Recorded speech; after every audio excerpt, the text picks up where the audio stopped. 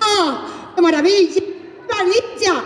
¡Maravilloso! Bienvenidos, señores, damas y caballeros, madame, monsieur, a todo el mundo aquí concentrado a orillas del Sena, del río Sena, donde tenemos el Tormes, claro. Bienvenidos todos aquí, a la ópera de París, a la gran ópera. En el siglo XIX, todos reunidos a escuchar el fantasma de la ópera.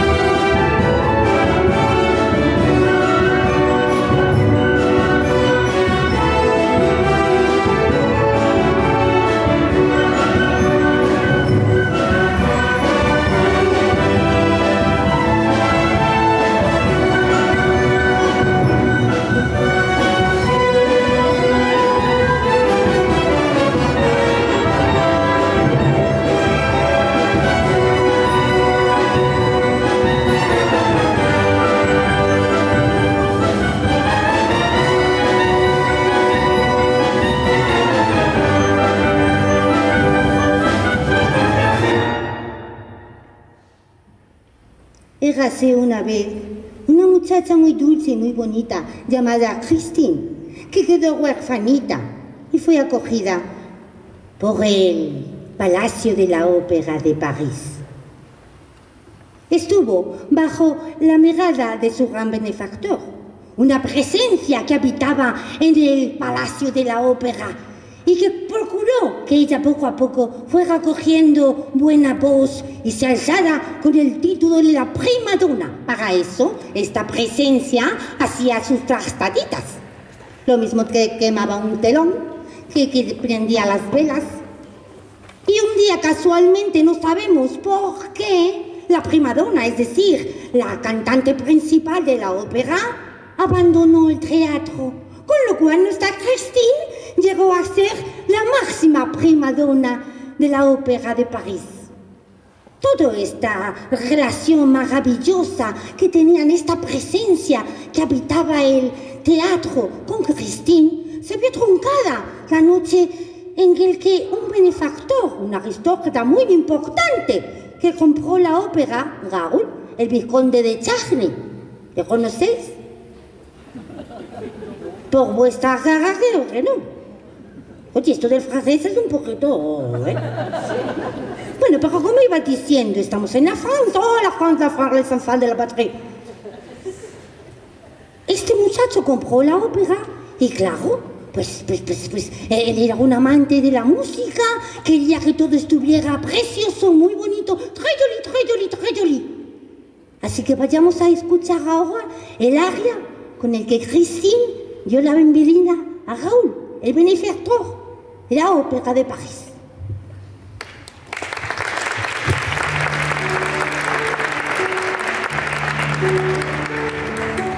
Think of me, think of me fondly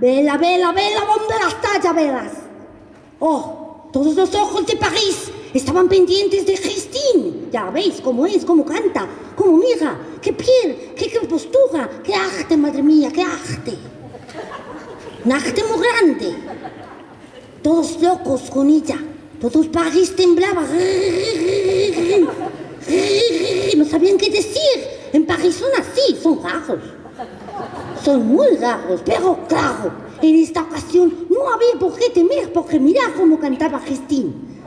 Pero, ¿qué ocurría? Aquí abajo, en el subsuelo, ¿qué ocurría? La ópera de París había sido construida bajo un lago de aguas tenebrosas, un montón de pasadizos, catacumbas, unos misterios y unas sombras muy raras que había allá abajo. Y abajo, ¿quién habitaba? Exactamente, el fantasma de la ópera. Esa noche, este fantasma nuestro subió y cantó con Christine. Pero claro, Christine cuando le vio dijo, "Ay, ¿esto qué es? ¿Qué es esto? Esto es mejor. Le miró y dijo, ¿es el espectro mi padre? No, no puede ser. Es un espejismo. Tampoco. ¿Tendré alucinaciones? Claro, me han medicado. Estoy drogada. No, no puede ser, no puede ser. Entre unas cosas y otras, estaba, estaba, estaba confundida. Dijo, quizás sea una sombra tenebrosa. O tal vez un ángel de la música.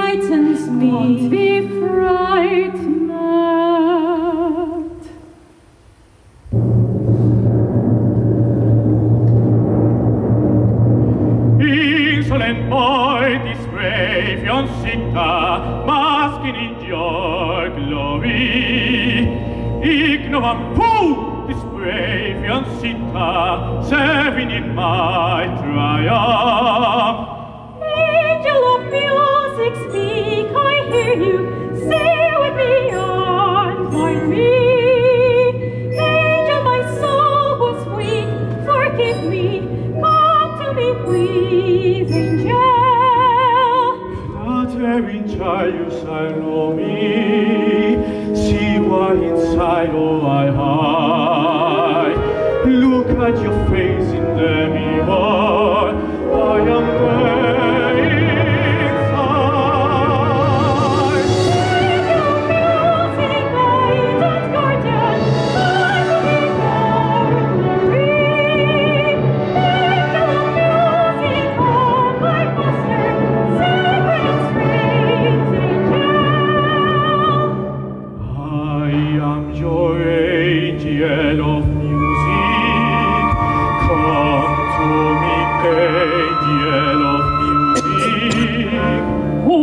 that voice who is that in there? I am your angel of music, come to me,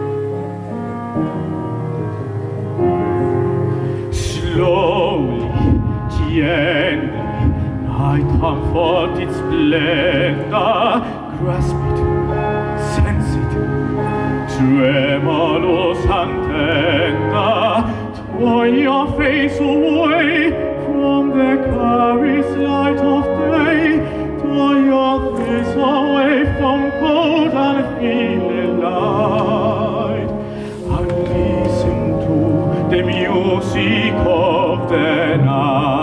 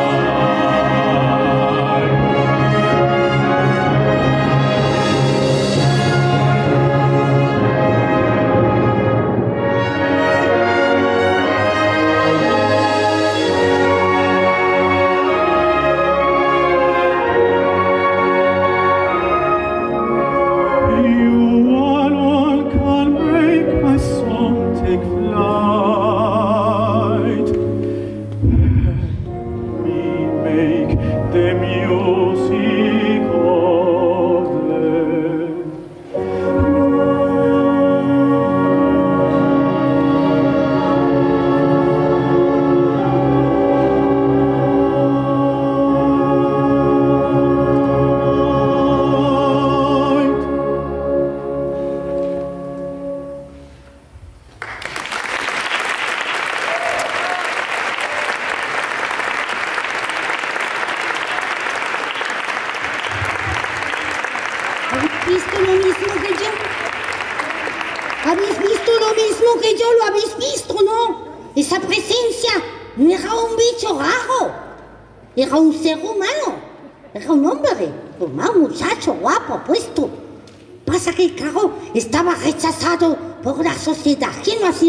Rechazado por la sociedad alguna vez?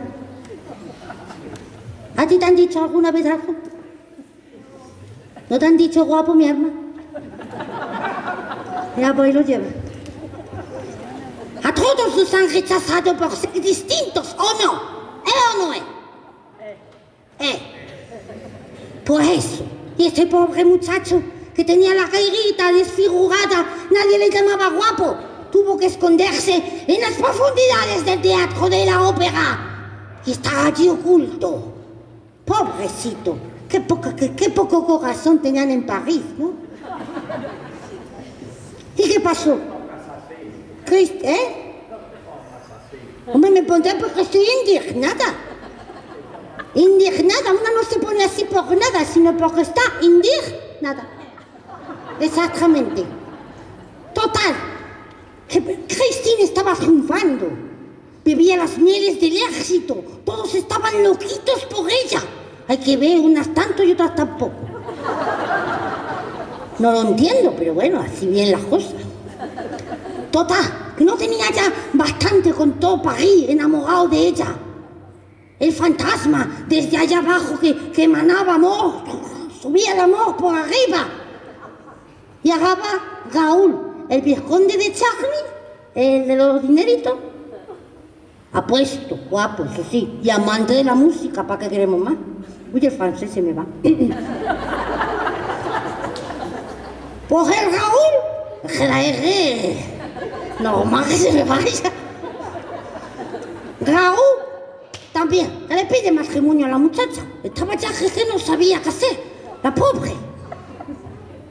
Y creo que vais a cantar, ¿no?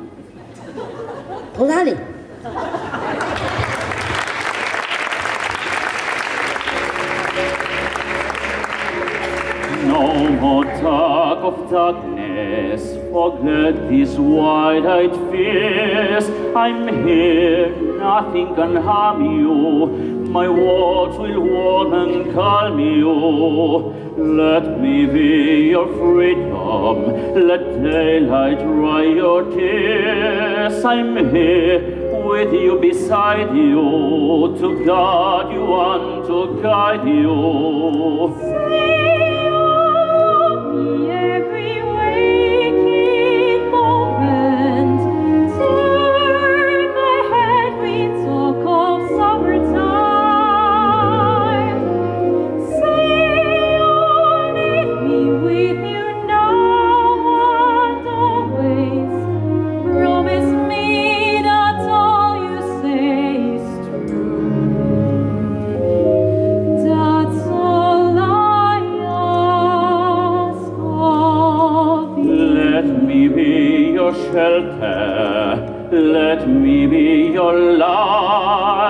You're safe.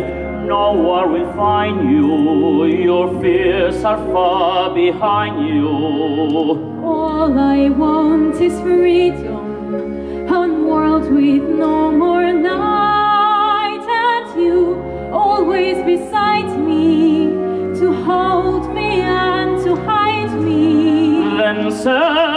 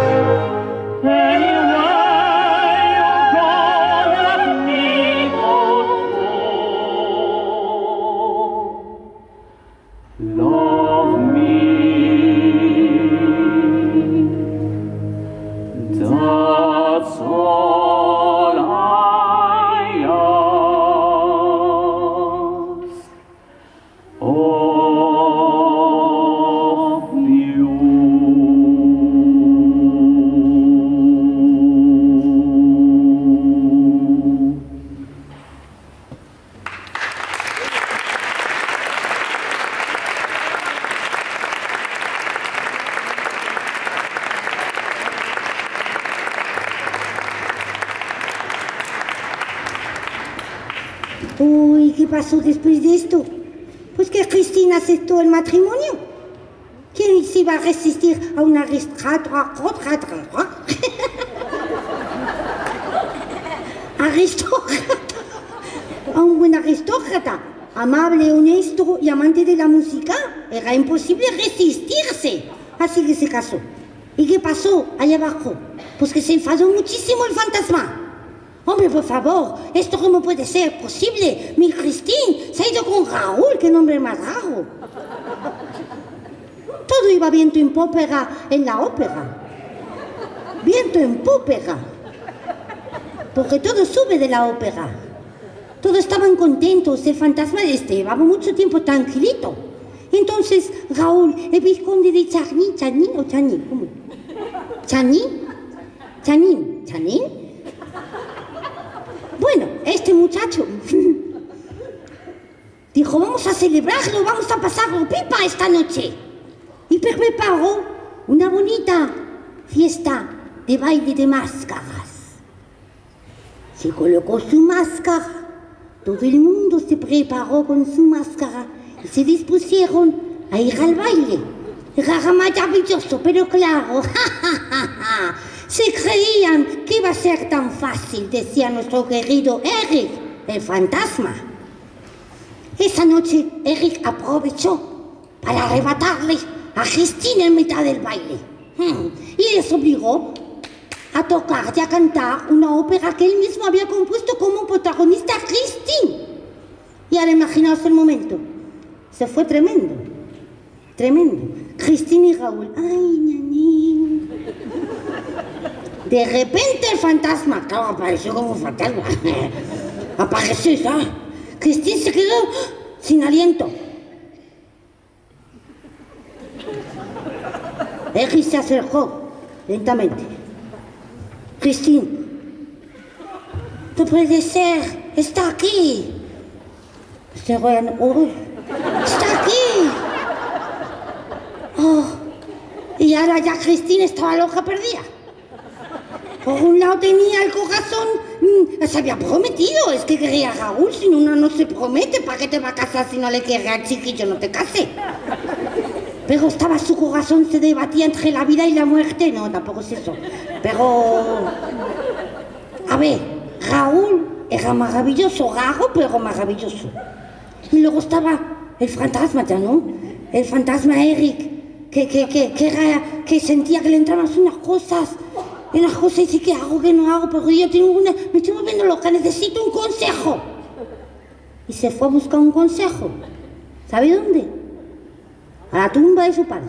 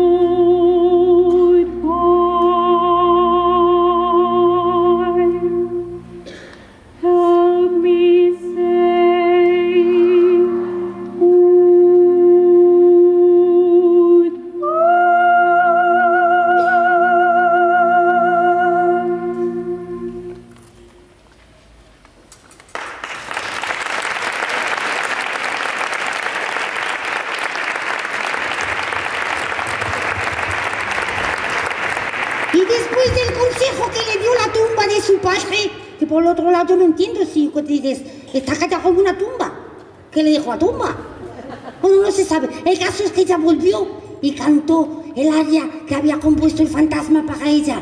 Sus voces se ensamblaron, estaban hechos el uno para el otro. You have come here in pursuit of your deepest hurt, in pursuit of your wish, which till now has been silent, silent.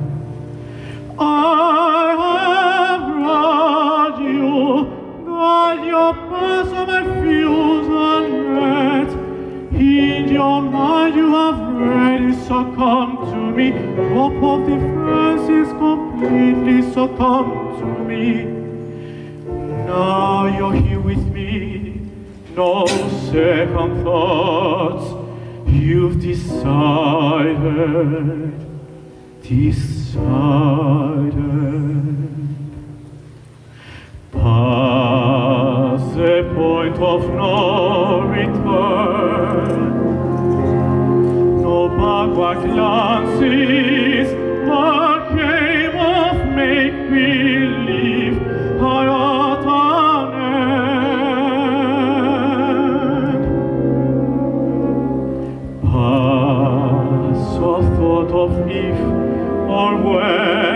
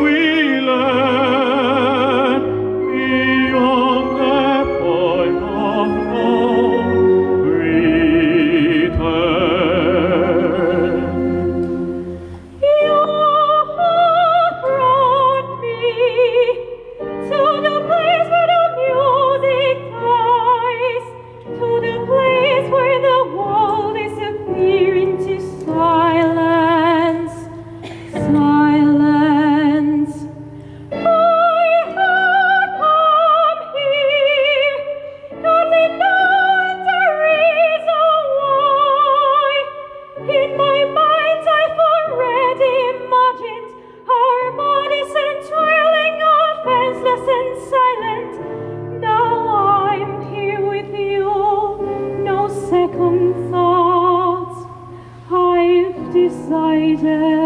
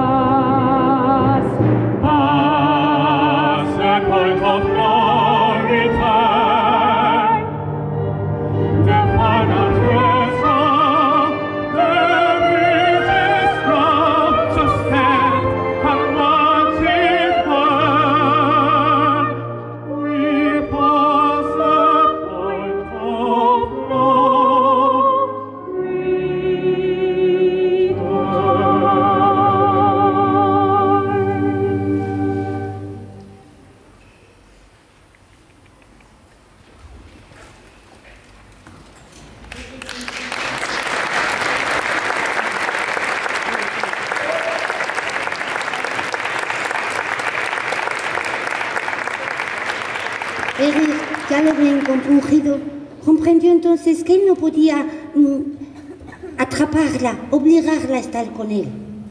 No, él se había convertido en una víctima de la sociedad. No podía consentir que también él fuera el culpable y responsable de ocultar a Christine. Así que decidió dejarla ir con Raúl. Sí, a veces hay que hacer gestos de amor. Y el amor incondicional es eso, amar dejando libre.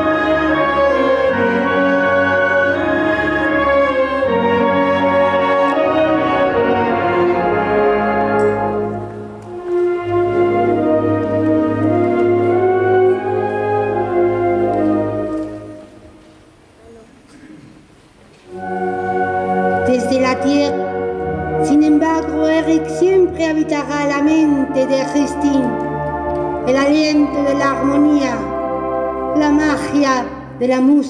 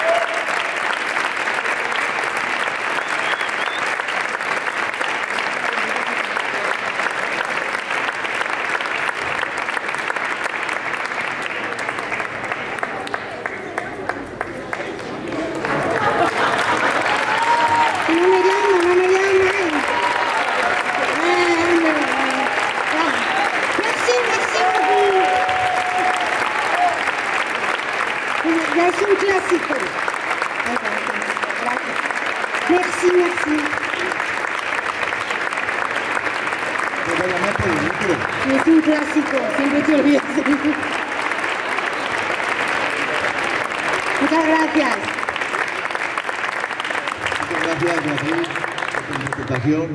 Muchas gracias, Ana, eh, Alejandro y Amparo. Creo que les habrá gustado y, y se acabó. Estamos en las profundidades de, de, de- de- ¡En el Tratumba!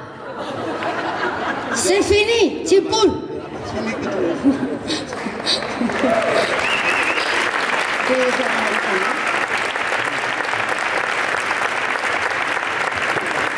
No, no, me siento. Voy a disfrutar